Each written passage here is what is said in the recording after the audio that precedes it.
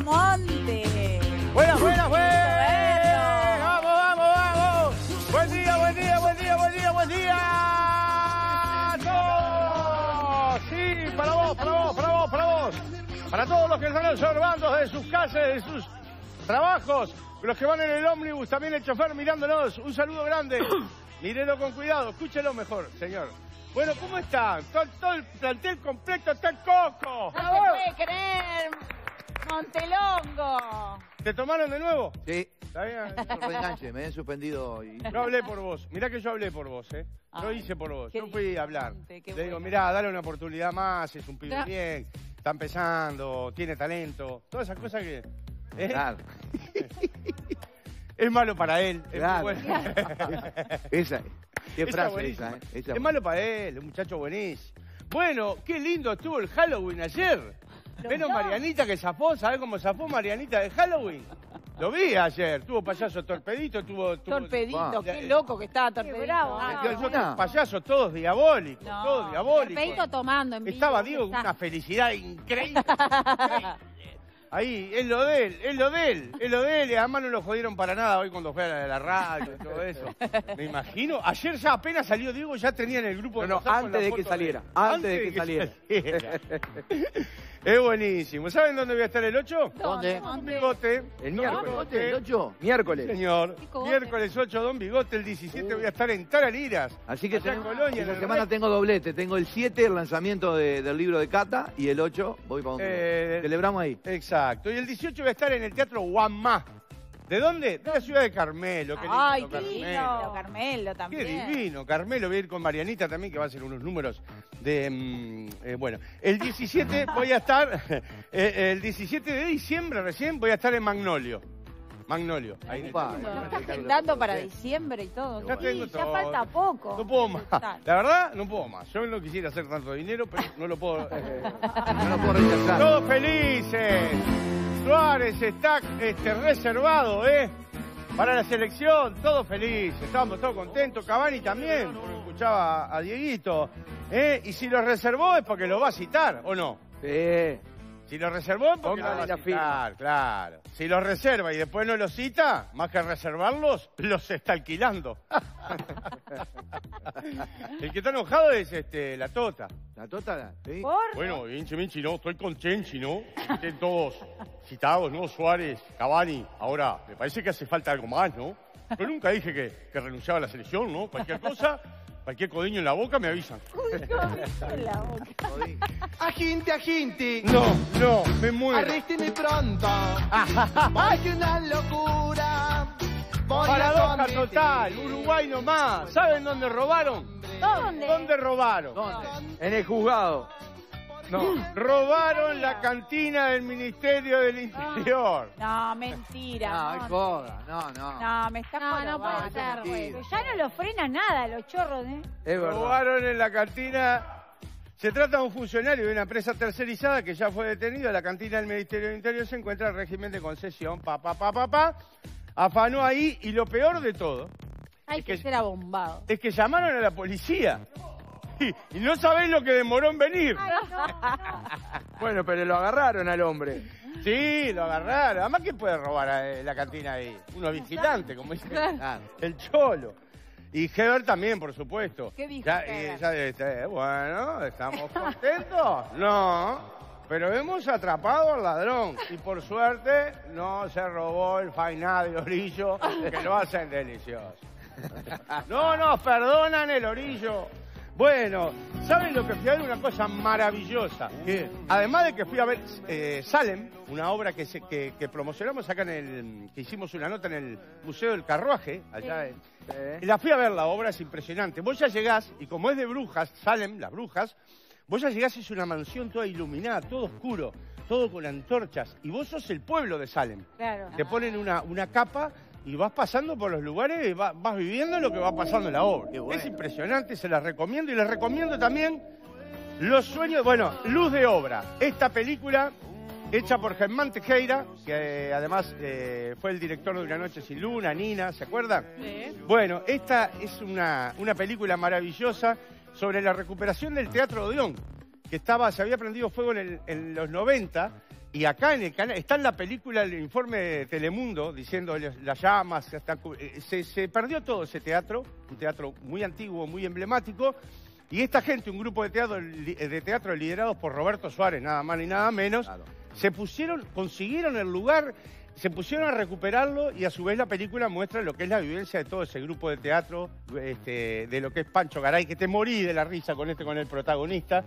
Y bueno, es una película exquisita que a partir del jueves ya está en cartelera en Cinemateca Live y en el Sodre, en la sala B. Así que se las recomiendo de corazón. Todos queremos más. Todos queremos más. Todos queremos más. Más y más y mucho más. A ver, ¿ustedes quieren más? ¿Cuántos hijos tenés, eh, Cholo? Tres hijos. ¿Querés más? No. Eh, Joca, no tenés hijos. Sí, claro que sí. Ah, claro, si viene siempre. Es que te veo tan joven, Joca, que no, no me imagino ya, papá. ¿Querés más, Jocas? No, no, ya. No, nadie quiere más nada, nadie quiere más nada. Bueno. ¿Usted, Catita? ¿algún ¿Qué hijito tiene? más querés? No, no, ya está. Ah, no, no podés decirme Ya eso. está. Con la alegría de la vida. No. Monte, ¿usted tiene? Porque nunca hablamos de, de- Es cierto, del resto eh, de la nunca hablo de familia. ese- Los habla de. Marta, pero no sé cómo se... ¿Tiene No, herederos? ¿Alguna No. hija ha mencionado? Tengo Nunca muchos, mencionado. tengo muchos hijos. Pero ¿Cómo alguno no muchos reconocido. Pero no bien, no. Tengo, realmente no tengo bien la cuenta porque Ah, yo era viajante Claro. era joven. Era de los que iba vendiendo pueblo a pueblo. Y Ajá. Y tengo pueblos enteros, ¿no? Este, No. Son todos gorditos así. ¿Qué dice? No. ¿qué No, no, no, no, no. No, no puedo hablar de eso, chicos. Ah, muy bien. No habla de privada. ¿No conoce el pueblo Montelongo? A- al norte del río Uruguay. Pueblo ¿está ahí? Montelongo. ¿Pueblo Montelongo? Había, ¿No había un jugador de fútbol en Monte? Montelongo. Ah, claro, claro. Bruno Montelongo y antes había otro, más, más, más antiguo. ¿es su hijo? ¿Es su Había el? Rampla. No, heredaron el talento, pero no son Ah. hijos míos. Va, no sé, capaz que son. No, no. Yo tengo hijos, sí, tengo cuatro hijos. Ah, muy bien. Sí. Son tres ingenieros nucleares Ah, Mon. y, y el cuarto es. El hombre nuclear. Heredaron, eh, No. heredaron su capacidad. Heredaron mi capacidad Intelectual. Sí. cognitiva. Ah. Cognitiva. Eh, bueno, este hombre es... Sí, herencia física también. ¿También? Sí, pobrecitos. Ujú. Y este... Pobrecito. Este muchacho sí quiere más, no como ustedes. Tiene 22 hijos y quiere superar los 100 Anda. No. para ser la familia más numerosa del mundo. Claro. La rusa Cristina Otsurk y el y 26 años junto al empresario turco Galip, Ot- bueno, no importa, uno, quieren tener un centenar de hijos. Hasta el momento tienen 22, cu- eh, de los cuales solo uno es concebido de manera natural. Ah, eso le iba a preguntar. Si Ah. con 22 años, 26 años, ¿cómo te.? Uno solo concebido en forma natural, los otros ya tienen conservantes. No, colorantes. ¿qué dice? Uno viene con, con aspartano, aspartamo. Este, bueno, a su vez, Orzuk, el tipo, fue condenado a ocho años de cárcel por evasión fiscal y posesión de estupefacientes. Me, me está jorobando, no puedo creer, Mon. Y no podés, ¿cómo no vas a poder creer? 22 hijos no duerme nunca. El tipo, algún estupefaciente tiene que tener para aguantar eso. Preguntale al Fruti, preguntale al Fruti, que tiene los ojos ya como un chino, ¿no? No, pobre. Yo no sé, pobre. ¿Cu- ¿Cuánto dormís, Fruti? ¿Cada tanto? Cada Cuatro tres, cuatro días duerme una hora. cuatro horas por semana. Este, 22 bebé. ¿Qué lo tiró? 10. Claro, no, no dormís más. Quiere, El pro- puede. Claro, te hace un campeonato, partido revancha. revancha. El problema mayor eh, va a ser cuando, claro, el tipo está en la cárcel ahora. Cuando quiera, cuando se le termine la condena. Imagínate, se agarra de los fierros, ¿no? De acá no me saca. No, no, que voy a ir. 20. Y a su vez, cuando él salga, capaz que ya la mujer en vez de 22 tiene 35. No. 35. ¿Qué sabe? Yo no, yo no me iría ni loco. Yo me aferro ahí, le digo, prefiero estar acá, los cuchillazos, pero. eh, no, yo- Esta noche quiero sexo contigo. Esta noche quiero sexo contigo. Esta noche digo a todos mis amigos. Ya no Esta importa, quiero sexo Sexo sí. Le digo Sexo que sí. me- es, es metafórico. ¿Qué metáfora? No te iba a decir. Claro. un, poquito, un poquito directo, ¿no? ¿Qué pasa? No quiero sexo, cualquier sexo. Ah, Quiero sexo ecológico. Écolo. ¿Está? No es eso, Rodri, ¿eh? es ecológico, ¿cómo sería no el quiere sexo decir que ecológico? sea... eh, la forma en que puedes llevar tu placer de manera, de manera sustentable. Porque hay gente que no se sustenta. ¿Qué manera no Por ejemplo, el Gonza no se sustenta. Tiene sexo, pero al, al otro día está sin sustento. ¿Viste que se va cayendo por los entiendo. Le pedís un huevo frito, te hace una pascualina, no sabes ni para dónde está. No, no, no es así, Gonza. Es un chiste que te estoy haciendo, nada más que eso. Bueno, volviendo al tema anterior, usted plantaría una semillita. Exacto, eso, sexo. Bueno, compartimos prácticas que definen la condición ecológica del sexo. A ver. A ver. ¿eh? Primero habla del uso de lubricantes naturales. Ah, mira por dónde venía. Ah, venía por ese lado. Viene por Ah. ese lado. Se recomienda el uso de, ustedes me comprenderán, no de... ¿no? Eh, para decírselo, tenés que, para ser naturales en la lubricación, tenés que usar el armenio lengüetián, no sé si lo tienen. Eh, o el, el italiano Lambettini. Hable ¿No bien, el italiano. Lambettini. Por favor. Al gallego Lambetán, todo eso, al vasco. Basta de usar 3 en 1, ese aceite 3 en 1 con el picho, No, no. eh, el ótimo de girasol, No, el Ajá.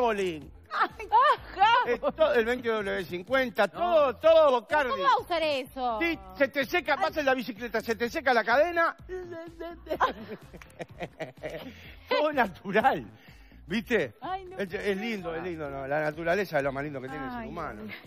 Otra cosa es uso de ropa interior ecológica. Uy, ¿eso? ¿Viste vos que te comprás la bombacha china? Esas no son ecológicas. De algodón, por ejemplo. Claro. La, su- la lavás una vez y Bueno, hay que desecharla. No sé. está, ya no iremos. no. ¿Eh? Si se usan juguetes... eh. ¿En dónde estaba yo? Acá. Uso de ropa interior ecológica hecha con fibras naturales de algodón orgánico. Claro, ahí está. Muy bien, es eso. Con Marta le encontramos una vuelta a esto, para que sea todo ecológico. Yo compré una máquina de esas que están en el Parque Rodó, que hacen algodón de Ay, azúcar. Entonces le hago, todo el ve- le hago todo el vestido en algodón de azúcar, Qué dulce. ecológico. Y de-. Y entonces imagínense cómo le saco la ropa. Si es con algodón de ¿Te la vas azúcar, comiendo? lógico. Ahora, de la glicemia tengo 6,8. Un pico de diabetes cada vez. que- Ah, viene con el palito, que es práctico. ¿no? Este, uso, eh, la- y la tercera eh, recomendación que les doy, Sí, uso de lubricante, ah, esta ya estaba. sí. Si usan juguetes sexuales, Sí. acordate, eh, Recargable. que que no uso sea muy batería. propensa, muy propensa, si se usan juguetes sexuales que sean ecológicos, No a pilas. Naturales. elaborados con métodos y materiales sustentables,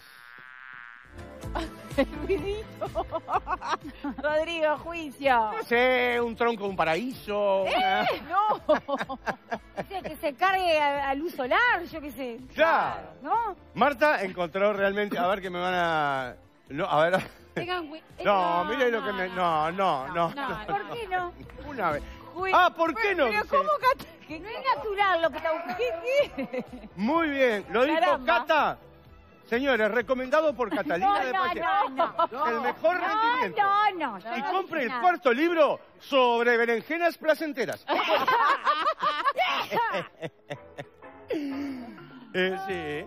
Bueno, este, con Marta, le- eh, ¿qué, qué iba a hacer? Ro- eh, uso de ropa interior ecológica hecha con fibras naturales de codón. Y, este, y, y Marta, justamente, este, los juguetes sexuales, no, no, no, Sí. hablábamos de los juguetes sexuales que tienen que ser orgánicos, Claro. ¿verdad? Entonces, si usan juguetes sexuales que sean ecológicos, elaborados con métodos y materiales sustentables. Marta, le voy a contar una intimidad. Marta tiene un juguete sexual ecológico. Ah, tiene, mirá. ¿Y por qué le da, le da Bueno. como cosita, le da vergüenza? por? Un poquito ¿Cuál de es? vergüenza le da. Porque ¿Son ese juguete sexual ecológico Sí. soy yo.